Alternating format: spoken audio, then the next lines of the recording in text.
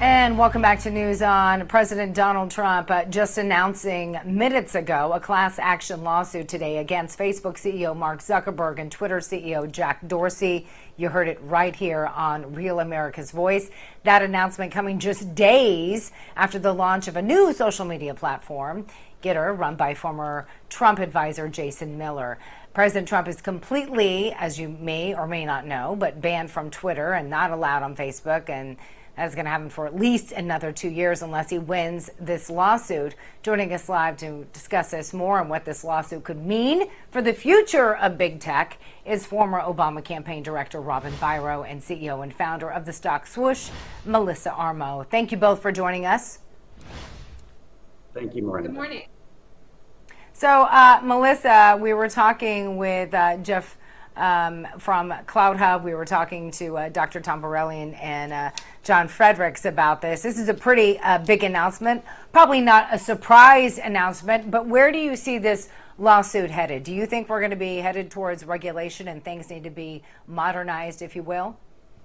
I don't know what the outcome of the lawsuit is going to be, but it's probably going to head straight to the Supreme Court at some point because the lower court, courts uh, either way, either party is going to end up appealing it. Interestingly enough, though, if you look at the stocks today, if you look at Google, uh, which owns YouTube, and you look at Facebook, the stocks um, were close to brand new all-time highs today and are falling off those highs after this news. Because of, again, this is really negative when you look at it because they've been trying to control what is going out there. And the really important factor, the timing of this is Trump is doing this now in 2021 because if in fact he's going to run for reelection in 2024, he wants to get through that get through this lawsuit and potentially win this lawsuit so that he can get back onto Twitter and back onto social media full time to try to run for reelection in 2024.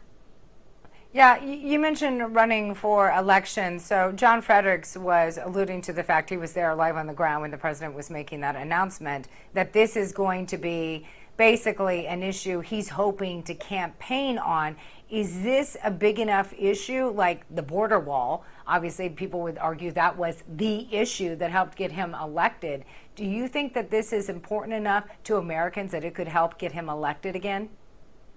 I don't think this is going to help get him reelected. Honestly, I think if you just look at the last six months of the decisions that the Biden administration has made, some of the decisions that people are really against, like closing down the pipeline for one, uh, some of the other issues, which we're going to talk about a little bit, which going door to door with the vaccines. I think Trump has so many things to talk about that this is just going to be one of a bucket full of issues. I don't think people are going to vote for Trump or not vote for Trump just on free speech alone. I think pretty much uh, people are, for the most part, in agreement that free speech should be allowed. And if in fact they're going to act like a publisher, like a newspaper, if Twitter or all the social media platforms are going to act like they're a paper, a publisher, a media site, then they should be allowed to be sued. You can't have it both ways. Yeah, but this this has been a tricky issue though, right? Because you've had a lot of Republicans argue, at least in the beginning, this is a private entity, but things have kind of evolved since then. Um, and then you have people, like I said, Jeff Brain, CEO of CloutHub, saying that this is long overdue. Robin, what are your thoughts again on this announcement from former President Donald Trump on this uh, massive lawsuit? Do you see it? Where do you see it headed? And do you think that this is a big enough topic for Americans that it could help get him elected in 2024? Miranda, breaking up big tech is definitely a, a, topic to campaign on. And look, anything is fair when it comes to politics and campaigning. So, and and I have to remind that the viewers at home that anybody can sue anybody for just about anything. It's up to the courts to determine whether or not it, it has any standing. Uh, so I don't have any issue with him filing these lawsuits. He's also has a long history of threatening to file lawsuits and not following through. So I'll be anxious to see. I do think though that he will follow through with these with these lawsuits. This announcement in Bedminster was pretty pretty substantial, uh, and I think that we'll see this in, in short order. I myself am an advocate for breaking up big tech. I think that it's it's about time. This is something that's evolved over the last 15, 20 years, and they have undue influence and power right now, and they need to be regulated. I think that's something that we can work uh, in a bipartisan manner to achieve. I'd love to know what our viewers uh, think about this topic. Are you in agreement? Do you think this is something long overdue? You can always let us know by finding me at Real Miranda Khan, hashtag share your voice. I want to move on to our next topic. So businesses and government agencies around the country are still scrambling right now to recover from that latest major ransomware attack that hit over the holiday weekend. Of course, as you know, this hack comes just a couple of weeks after President Biden met with Russian President Vladimir Putin about these cyber attacks.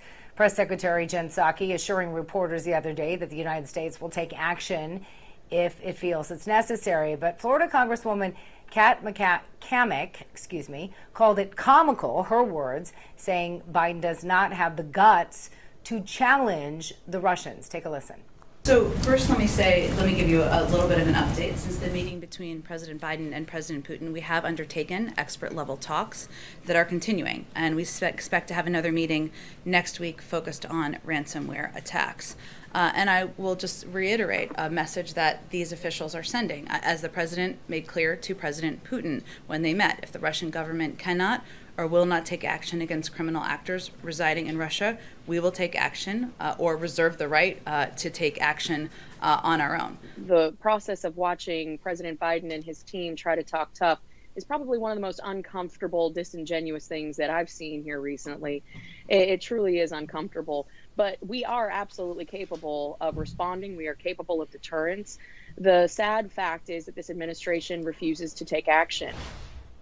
And I do want to mention uh, Congresswoman Cammack will be on America's Voice Live following News On. Uh, but Melissa, um, we've seen several. You you were talking about. Um, you know the pipeline, right? So we saw that. We saw one of the major uh, meat packing companies in the world um, and now this huge ransomware attack. I mean, it's one thing to talk the talk, but are they willing to walk the walk?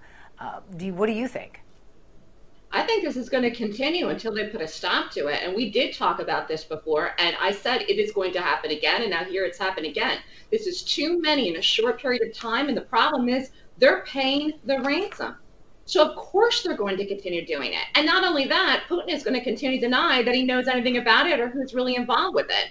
So, really, what again is the deterrent to stop it from continuing if, in fact, the Biden administration doesn't take a hard stance and the people that are getting ransomed continue to pay uh, to the people to get the power back, whether it's through Bitcoin, whether it's through currency? They're not able to really apparently track where the money's going. So it's continuing to happen. And really, what is the outcome? There really is no deterrent to stop it. And if they don't do something to stop it, we're going to see more and more and more of these. And it could be something really where it happens nationwide. This has happened to some, I'd say, it's happening worldwide, really, because a lot of really? these businesses are global. Yeah, I mean, it, but it, I mean, it could be something where it, where we can't even talk anymore. It shuts down electricity, where we don't even have phone communication. Something mm-hmm. so egregious like that that it could take really to that point, but we don't want it to get to that point. What if it happens to the banking system? Can you even imagine what would happen if it happened to yeah. a bank, a large bank or financial system? I can tell you right now, the banking security of banks right now, they're probably way, way up involved in this, trying to figure out to get ahead of this right now. Because look at how many times this has happened in the last six months. Yeah, well, we're talking about now thousand, over a thousand businesses that were impacted over the weekend. Obviously, a lot of these are not just here in the United States, but worldwide. We saw what happened um, with the pipeline, right? That, that affected uh, gas shortages on the East Coast of this country. And then again, that the meat supplier company wasn't just here in the United States, but it was around the country. So when we come back, Robin, I want to give you ample time because we're running to a commercial break to respond to this. Do you think the Biden administration is being tough enough? And if not, what should be done? And maybe it's not just the United States. Would love to get your reaction to that. Plus, Still ahead on News On, a deadly 4th of July weekend sparks a Democratic governor to now declare a gun violence emergency. Find out where and if his fellow Democrats will give their stamp of approval.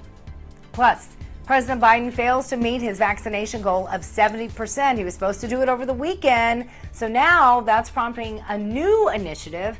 But will that even make a difference?